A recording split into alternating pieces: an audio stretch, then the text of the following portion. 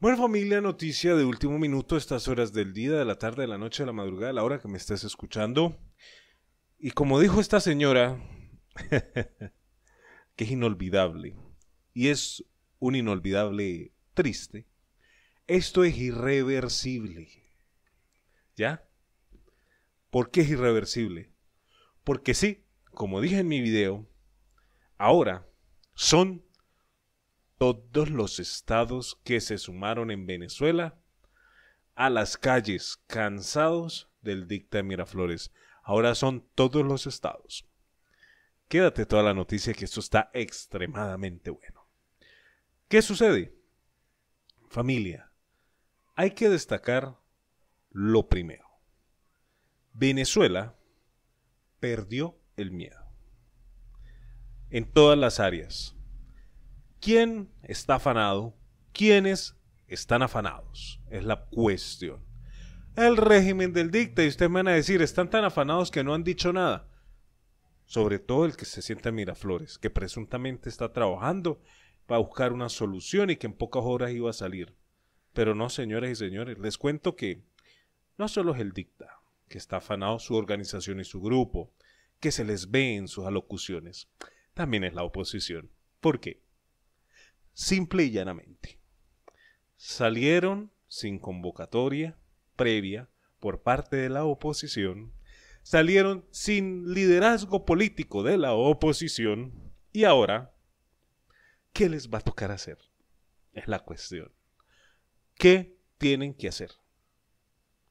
Estos señores también de la oposición han mantenido en cierta manera un silencio con referente a esto. Porque el pueblo se cansó de ver una oposición que juega a favor del régimen del dicta. Se cansó de ver que también solo están detrás de intereses, intereses y más intereses. Por eso, yo les digo, se cansaron.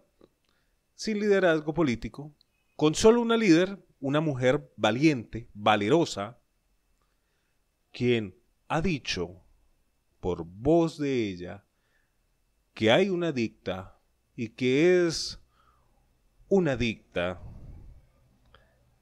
y que esto no puede seguir así. Que no es ningún político como tal este señor. Y eso es lo bonito que escuchamos hoy en día. Escuchamos también que salieron sin tiempos, sin horas, sin convocatorias. Han hablado con uniformados y no es un secreto para nadie que los uniformados están cansados también. Por ahí salió una información de que a los docentes les enviaron 500 con 80 bolívares. Ese fue el bono especial para los trabajadores, pero qué particular que para los uniformados fue de 9 mil bolívares. Hagan el cambio. Hagan el cambio de dólares a las dos. Y verán porque quieren a los uniformados calmaditos, serenos. Pero lo interesante es que no les llegó a todos. Y a los que no les llegó también están cansados. Ustedes van a decir, ventana, eso lo dicen todo el tiempo. Escuchen, los uniformados solo están esperando que los venezolanos apoyen y crean en lo mismo, en salir del régimen del dicta, en salir de ellos. Eso es lo que anhelan.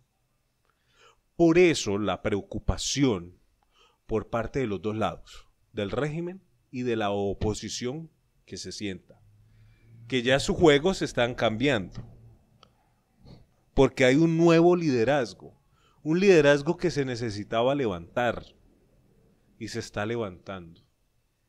¿Se cansaron? Sí. ¿Se cansaron de ver cómo se ríe Diosdi? Sí. ¿Se cansaron de ver cómo se ríe los Rodríguez? Por supuesto que sí y sobre todo de ver los muñecos de Silita. Es que eso fue. Eso, eso fue la cerecita que le hacía falta. Los muñequitos o juguetes de Silita y de Nico. Que para eso sí tienen plata. Pero para los venezolanos no. Para las necesidades del pueblo no. ¿Dónde quedó la necesidad del pueblo? Es la pregunta, es la cuestión.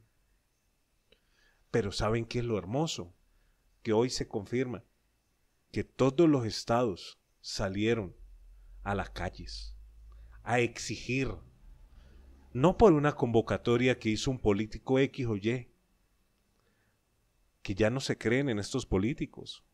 Se está levantando un nuevo liderazgo y era lo que estábamos buscando los venezolanos. Un liderazgo real, comprometido con salir de la dicta de Miraflores o con estos pichoncitos de dictas. Sí, porque se fueron lo que dijeron, pichoncitos que creen que son, mejor dicho. Pero la gente salió, la gente se cansó. La administración pública, y esto no lo digo yo solamente, la administración pública se cansó de decir y de exigir. Y tenía que llegar un momento en el cual tenían que brincar o saltar o quedarse, porque el alcalde de Chacao le hizo el llamado al dicta Miraflores. No se va a quedar trabajando la administración pública, y escúchenme bien, la administración pública no va a trabajar por 10 dólares, por 7 dólares, por 30 dólares, ni se van a preparar para trabajar en los diferentes entes y sitios por sueldos miserables. 30 dólares no es un aumento, 60 dólares no es un aumento, 100 dólares no es un aumento. Sí, por si están pensando hacerlo. Por eso es que van a seguir en las calles. Por eso es que está todo un país, todos los estados pidiendo exactamente lo mismo que se está pidiendo.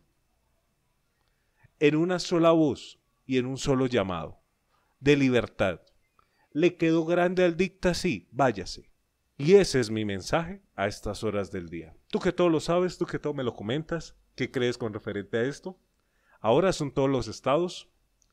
Qué bonito, qué hermoso es escuchar esto. Gracias por compartir, multiplicar y extender, ser parte de esta hermosa familia que todos los días une este llamado libertad. Hoy, si estás ahí escuchándonos, te invito a que te suscribas si no te has suscrito, a que actives la campanita. Y si llegaste hasta este punto es porque quiero oír la frase del momento, la frase del día para estas horas. Que es la siguiente. Nunca es tarde para volver a intentarlo. Más vale tarde que nunca. Y este es el mejor mensaje para estos días. Con lo que sucede en nuestro país, y con el día a día de nosotros. Nunca es tarde para volver a intentarlo.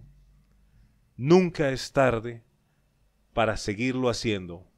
Más vale tarde que no haberlo hecho nunca. Más vale hacerlo ahora que dejarlo pasar. La oportunidad se nos muestra, sí. La bendición está, sí. La meta está ahí, sí. No lo dejes para tarde. Ya se demoró mucho. Es hora de hacerlo. Ama, quiere, respeta, logra tus metas. Comparte, multiplica, extiende un abrazo y hasta una próxima.